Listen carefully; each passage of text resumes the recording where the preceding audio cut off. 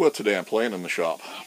I've been uh, working on stuff for the little Atlas mills. Well, the Atlas mill, the shaper, and the lathe. And today I'm just kind of continuing that. I'm going to start doing a fair amount of tooling, I think, for the little Atlas milling machine.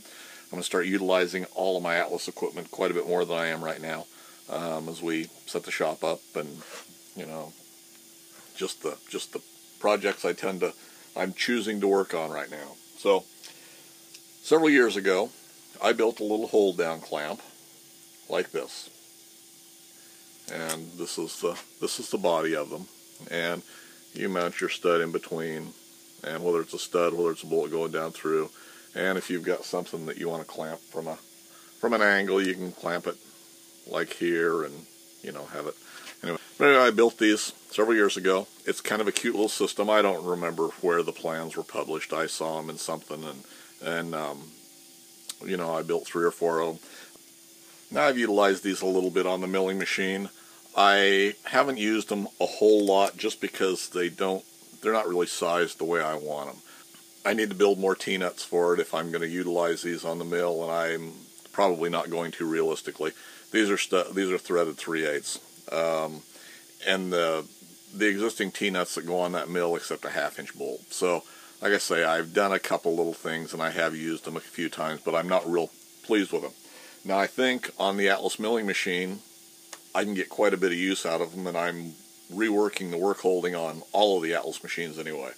So the T-nuts that I built for the Atlas Shaper and the Atlas Mill are 3 8 threads like this. And what I've discovered with using them is it's it's actually too large. A 5 16 hold down would be more appropriate for it, just because the T-slots are not wide enough. And throughout all the Atlas machines, they're fairly universal. So if you've built for one of them, built T-nuts for one of them, or T-studs, whatever you're going to do, well, you can do it for all of them. So I think 5 16 is going to be more appropriate for stud size on the Atlas machines. Um, now I also think that this size is too large for all the Atlas machines. You know, it's more appropriate for the mill, but it's really not. So what I've done is I went back and we've made some smaller ones. So if we compare sizes, this is what we've got. So what I did is I set up the CNC on the mill, and we've been running these. I ran a few yesterday, and I've got one set up over there that I'm going to pull out and load the next one, so I'll show you that in a minute. But what I did when I started out doing these was I of course, drew them up in CAD and CAM using Fusion and scaled them there. And then I 3D printed out a pair of them, which would be a set. Uh, a couple of reasons for it. One is I could physically look at the size and feel them and see if it was what I wanted. The other was I could nest them to where I could hopefully best utilize stock. So what I found out is I can put them on just a piece of aluminum, and this is, for this size, it's 3 16 is what I ended up using, was as close as I could come and it's two inch wide stock and it's about three and a quarter inches long which gives me a little extra material. So anyway I set up the mill set up a little quickie fixture which just amounts to a little thicker piece of aluminum that I went ahead and drilled. And when I had the drill set up well, I went ahead and drilled my blanks. And I've got I think three or four of these blanks left to do. I've got three sitting here. So I've got I've got yeah three more to run off that I'm going to do this morning.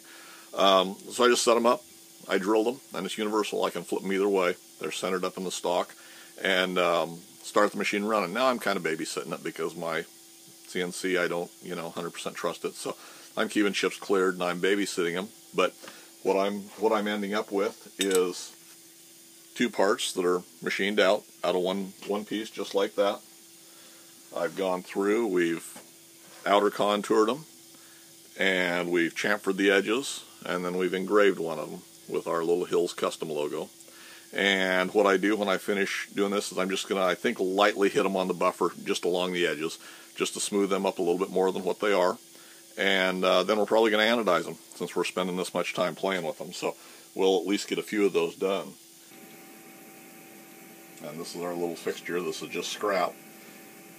Now my uh, little mill lost uh, lost steps yesterday when I was running it on one of these and uh, rather than trying to re-zero it because I don't trust the trust being able to reliably pick up again and have everything be exactly the same. That's the downside of having this old, old wore out homebrew CNC. The next one, if we get that far, will be much better, I hope. But anyway, this is the way they come off.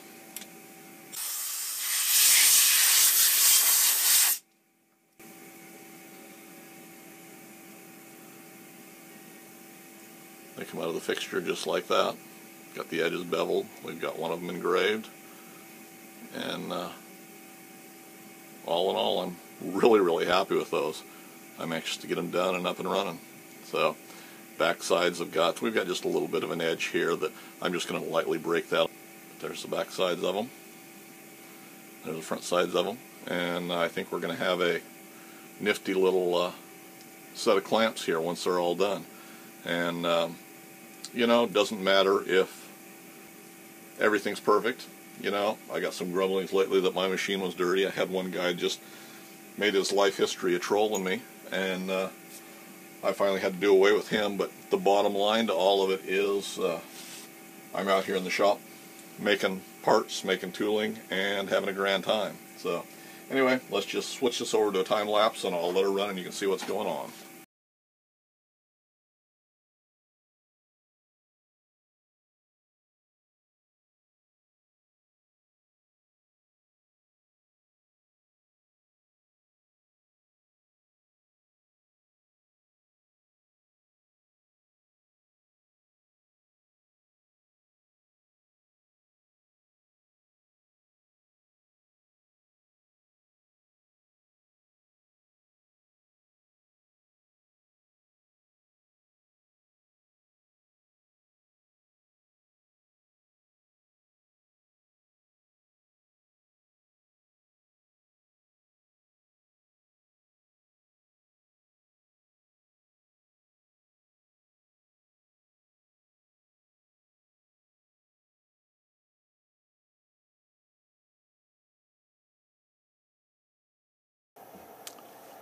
Well, I got the little Mickey Mouse anodizing setup going here, and I've been anodizing these uh, these parts for the last oh hour and a half here. So we're just about to pull them out, rinse them off, and uh, we're going to put them into the dye bath. And let's just see what we come up with.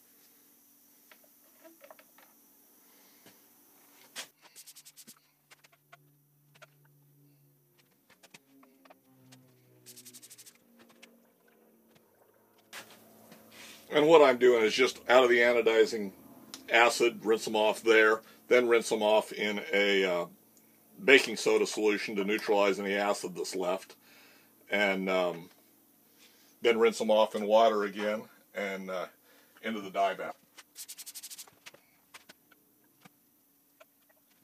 I think I'm my, I'm plugging through anyway. Get the, um, no, she'll have to do that. I'll get there.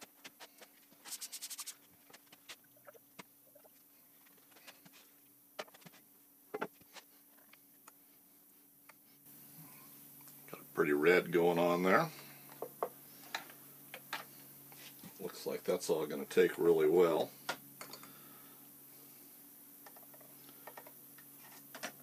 We'll just let that sit and cook for about another 10 minutes. I'm going to go ahead, clean up my acid tank here, get the lid back on it, and um, sealer's heating up. Well, our sealer's just almost to a boil here. And from what I can see so far, our red looks really nice. I'm really happy with that so far, I think. So let's give it just a couple more minutes until we actually start to boil there. Then we're just going to pull these out, rinse them off, and uh, then they'll go into the sealer for about 15 minutes.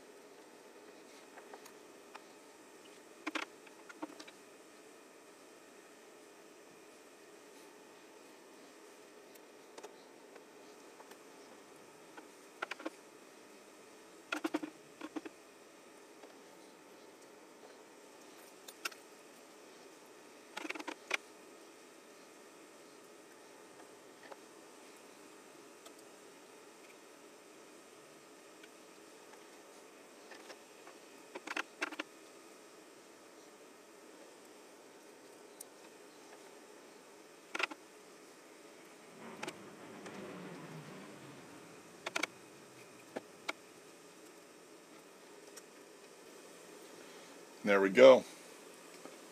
Let that cook in there for about another 10 minutes. And, uh, and we'll take them out, rinse them off one more time, and dry them off. Let me dump this old ugly red water, put some fresh stuff in.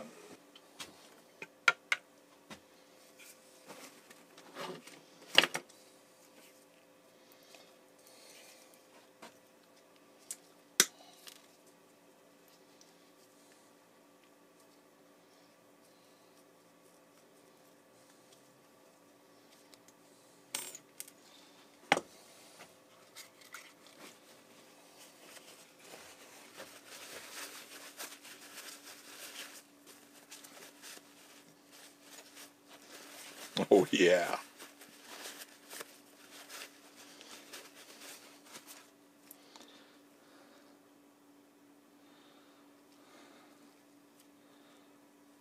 Yeah, for shop furniture, that's pretty, uh, pretty fancy.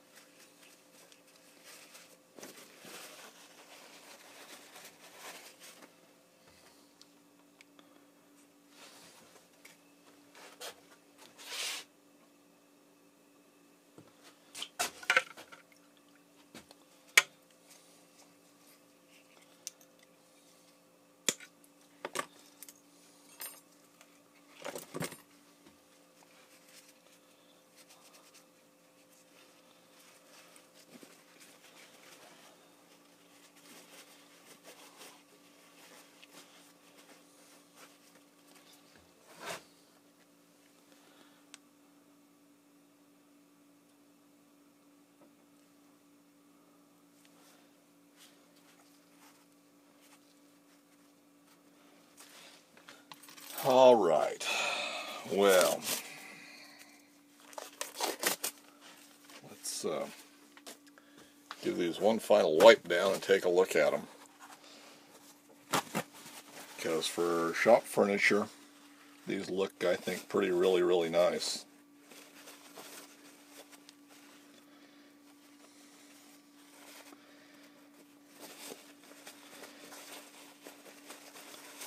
Now I might on the next batch actually clean up these, put a higher polish on them before I do the uh, do the machining on them.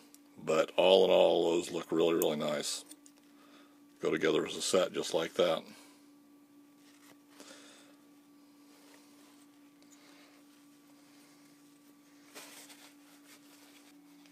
the next thing we'll do is we'll uh, turn our centerpieces in between. And I'm still contemplating if I'm going to go with a 5 16 center for them, which is probably what I'll do. Although I may go all the way down to a quarter on this uh, on these little Atlas machines for using hold downs like this and everything. A quarter inch grade 8 bolt would probably do just fine. You know, and we'll do some studs. I think the, the limiting factor is my radius here. I think this is only set up for a half an inch as I remember. And uh, I'm not sure that half inch is going to give us quite as much strength through there as I'd like. I think they'll last forever. I think even very little wall thickness through here is going to be just fine for this. But um, I'll contemplate that and see. I want to fit up some uh, fit up our pivot pins on top. So that's the next project. We'll uh, get those done and finish this up. So this is where we're going to leave this with our four little sets of clamps. Those two, just like that. And they'll mate together as a pair. So one side's got our engraving on it, just like that. And the other side is blank, just like that. And when you get everything lined up, they do line up. And uh, I think those are going to be real fine addition to the shop. So I think the next thing we're, we're working on is hold down accessories, and this is going to be the beginning of that. So hopefully you found a little bit interesting here. If you didn't haven't already, I'd appreciate if you'd hit that subscribe button down there. And if you hit the bell notification, you'll know when I put out a new video. Any comments or suggestions for me, leave them in that comment section below. And as always, guys, thanks for taking the time to watch.